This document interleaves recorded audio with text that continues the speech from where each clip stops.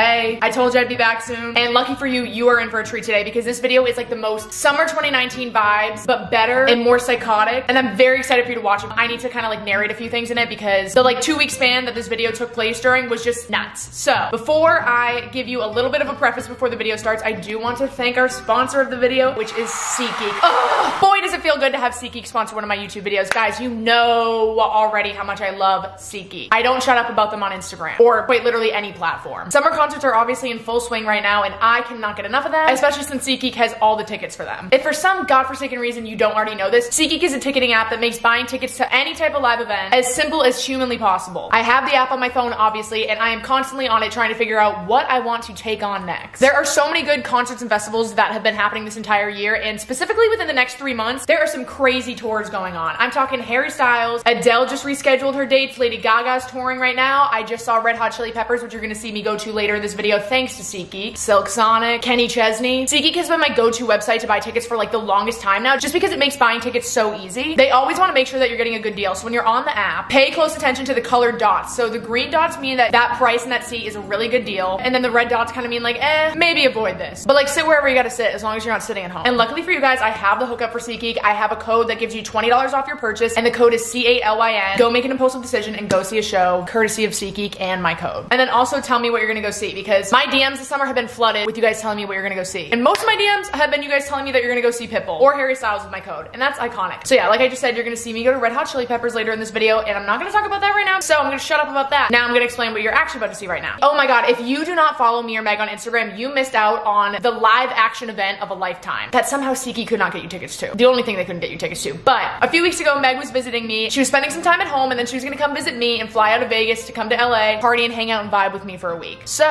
the day that she was supposed to come visit me, she's making her drive to the Vegas airport and all of a sudden there is a thunderstorm going on in Vegas. Now I didn't even know that thunderstorms happen in Vegas, but there Meg was about to get on her flight to see me. It was like 5 p.m. that her flight was and her flight gets canceled. And she kind of had a feeling that it was gonna get canceled because all the flights before her were getting canceled and like me and her were on the phone like freaking out being like, you need to get on this flight because we need to go to the club tonight. We were like dying to go to Poppy in LA and also I hadn't seen her since Coachella. So like the energy was high, the vibes were high, we had the hookup for the club and our plan was for me to literally pick her up at the airport at like 7, come home, get ready, pre-game, and then hit the streets. There we were updating you guys live on Instagram about how she couldn't get a new flight. And you know us, we're not gonna fucking let anything stop us. Me and Meg are nuts. So she was in line to talk to a gate agent about when the next flight she could get on was and I was over here scrambling trying to find her another flight to get here, but there was no options. Before you know it, these sweet, sweet souls are in line with her, also freaking out about how they need to get to LA. And I guess that they had their flights canceled the day before and they were like, you know what? We have been stuck in Vegas for like two days now. We're gonna get a goddamn rental car and we're gonna go. And like Meg, you seem like a person that we wanna help. So they offered to drive Meg. So Meg's over here live texting me, live calling me, being like, do I get in the car with these random guys? Like, do I trust them? Like, what the fuck? I was on FaceTime talking to them and everything, assessing the vibe of them. And I was like, Meg, I say you do it. Impulsive decisions, baby. Is this how people get killed sometimes? Yeah. Was this the smartest thing in the world for us to do? No. But we did it because we're us and we're done. But it worked out because Meg ended up going on this road trip for four hours with these random guys that she met in line and ended up having like the time of her life. And she was sending me videos of them like singing the whole way there, telling each other like their life stories. Where are you from?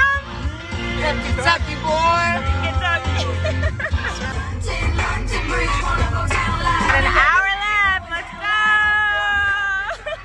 halfway through, I was like, you know what? They should come to the club with us tonight. So then all of a sudden we had a plan to all quite literally meet outside the club for like the first time. We didn't have any time for Meg to stop at my apartment or else we weren't gonna get into the club. So, so yeah, this vlog is about to start off with me and Meg reuniting at the club and our plan was to go to the club with the guys who had all of Meg's shit in their car. And then after the club, we were just gonna go to their car, grab Meg's shit and then Uber back to my apartment and then just be eternally grateful for these really, really nice men that helped us the fuck out and got Meg from point A to point B. So I'm gonna show you the clip of me and Meg seeing each other for the first time after this stressful, chaotic, scary day.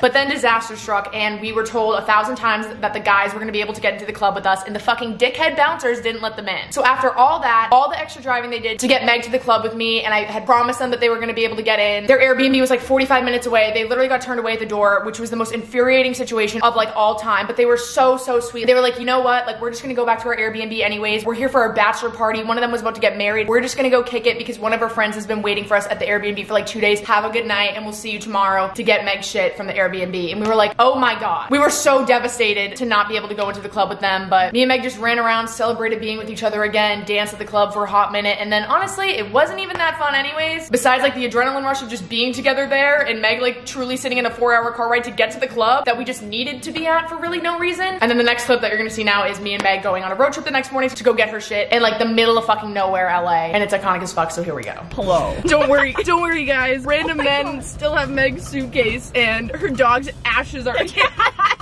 I literally have my dog's ashes. They have my Xbox. I brought my Xbox.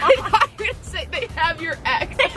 I'm like, what the fuck? Reed's They there. Oh my god. I haven't even started filming yet, but I know I've had to sit down and like explain what the fuck is going on by now. So but, like, much. It's been the most wild 24 hours that I haven't even been able to like pick up the camera. It was just too much. But now, don't worry, guys. We're at a Dunkin' Donuts line. We're wearing the worst shirts humanly fucking possible. These fucking things on. Hey, don't be fucking mean to my prized possession. I have nothing. This is all I have. This is all You I have. You don't have your dog's ashes, but you do have the Margaritaville. it's our moment. We gotta get fuel for the road. breakfast with champions. I want hash browns. I didn't fucking ask. cool, tell someone cares. What are you getting? I'm not telling you. You're so mean. I'm not talking to you today. Give you the silent treatment. Didn't want to talk to you anyway. I just cannot believe that these random guys have truly turned into the star of the fucking show. like, and now we're about to go get them. Oh, also, one of them is engaged and one of them is married. And Meg got invited to their fucking wedding and it's on her, birthday. We're going to the wedding. We are going to be in Kentucky for Meg's birthday. I wanted to go on like a tropical vacation that week for our birthdays. No, like all of our birthdays in one week. yeah, No, we're going to Kentucky. We're going to Kentucky. we are going to Kentucky. You want to know how they found out I had my dog's ashes? my mom was on the phone and she's like, "You Where's got- your dog? She's like, you got Lou? Hold her tight. And they're like, what? And I'm like, yeah, she's in my lap. And they're like, what? it's my dog. Wait, who do you got back there? Hold up a jar. Did you actually? You genuinely held up a jar. In a jar. Guys, check this out. I thought you doing show and tell in your four hour road trip. Yes. So excited. Big fucking ass. This is the most bizarre road trip I've ever been on. I'll talk to you when we're closer, because I gotta fucking drive. Give it over to this guy! Woo! Come here! hey! Wait, who's getting married? You? Oh my god, that is amazing.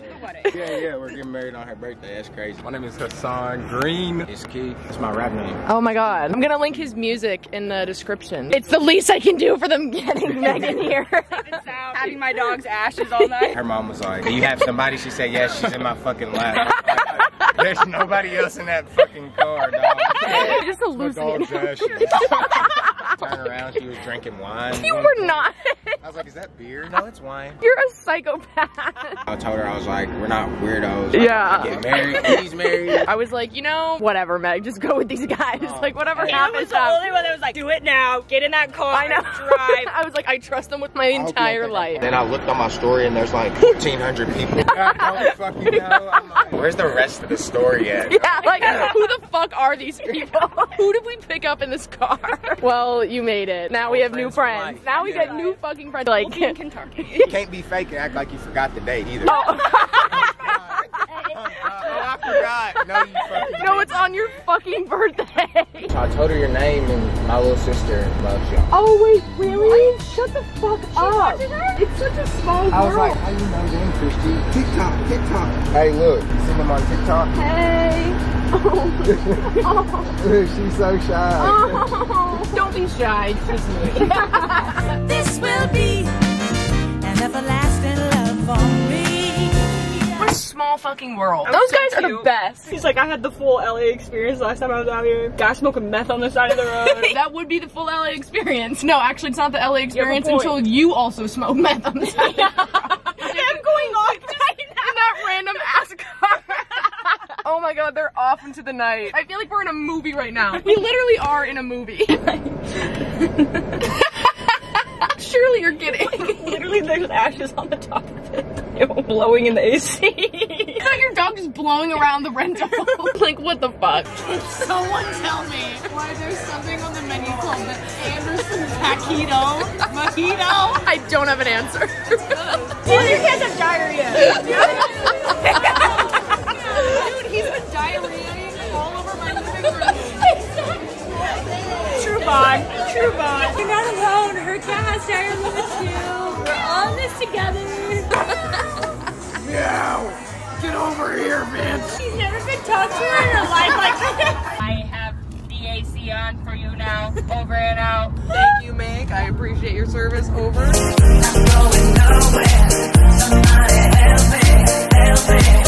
We're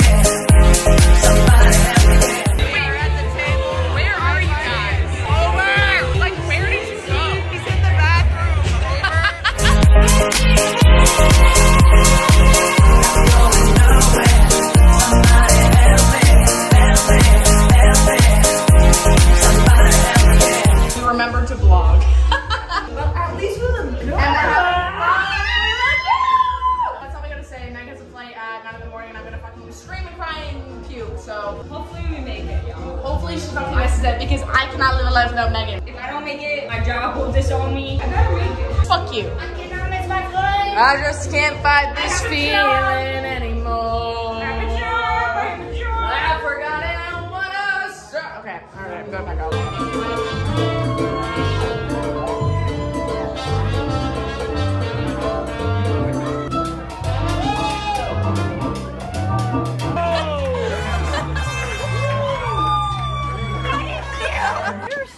Drunk right now. We're getting in a stupid van.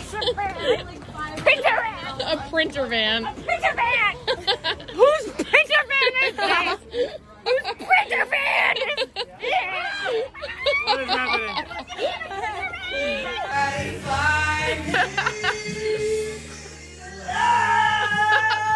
Whoa! so, um, in case anyone is wondering, Meg missed her flight today.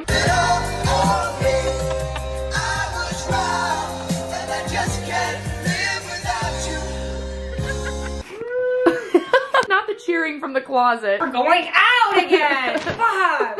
For the 80th night in a row. Drinking the Red Bull, my heart feels like I'm gonna have a heart attack right now. I don't ever drink Red Bull until the strip, and that's probably why I'm like, why is my heart hurt? Oh my god, yeah, dude, I do not drink the whole thing. I drink like an eighth of it and call it a fucking day. We're just having fun. We're having a hot girl summer. Eating nothing but trash, staying up till six in the morning, getting two hours of sleep every night. We need to leave right now, but look at our shirts, guys. We're doing a full-on moment tonight. Be a slut, do whatever you want. I'm a future fucking MILF baby. I don't even know if I want babies, but I'm regardless a future fucking MILF. We're going now, we look cute. You said a chug, and you're not even chugging. I know, I need to. Oh my god, you chugged more than me. Okay, ready? Here we go. Cheers. To the last night, maybe. Allegedly. We can't promise that. Hey guys, I haven't vlogged in a few days and now I'm on a fucking ride with Jake. Me like picking up my vlog after not vlogging in three days. I'm like, I'm on a ride now. Meg left this morning. I'm at a Halsey carnival. Halsey.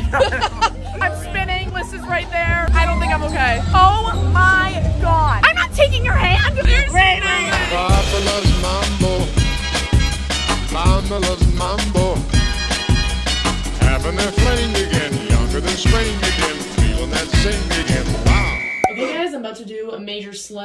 is a Selva Rey party going on later and I am being dramatic and I'm getting my makeup done. So the makeup artist is here. My outfit is hanging up. She's ready to go and now we gotta beat this face.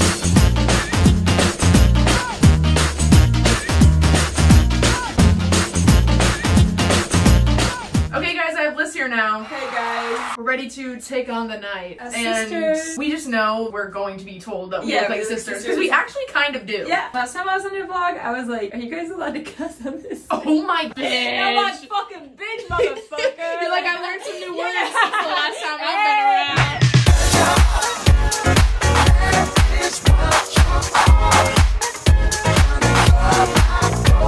Yes!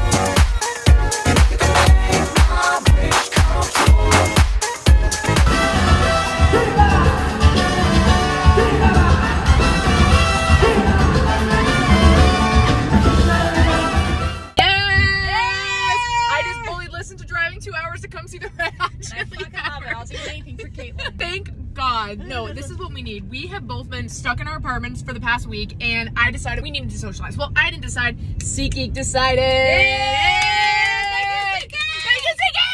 Y'all know me. I will go see anything and everything, especially when it's at a stadium. I'm just here to vibe. I'm here to shake my ass. I'm here to get some drinks. We're gonna drink some beers. Oh yeah, I'm gonna I'm gonna learn how to twerk at the Red Hot Chili Peppers tonight. That is my goal. I'm gonna learn how to finally twerk. We're out here Parking socialize. 65 on top of everything. Are you fucking kidding me right now? Oh my god. Inflation, eh? Hey! Thank you.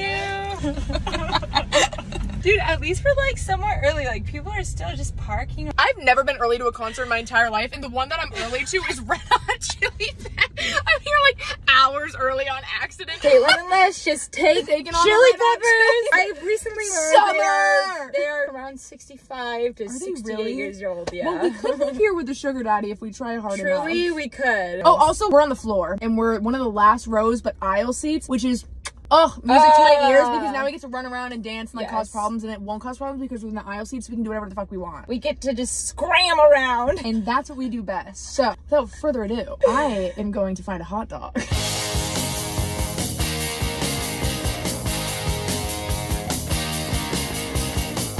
I'm so confused. I feel like I'm in a nightmare. Like, one of those the back rooms? Like, I feel like I'm in the back rooms right now. I feel like I shouldn't be here right Yeah, yeah. now. This is so We're confusing. like underground right now. I'm not even joking.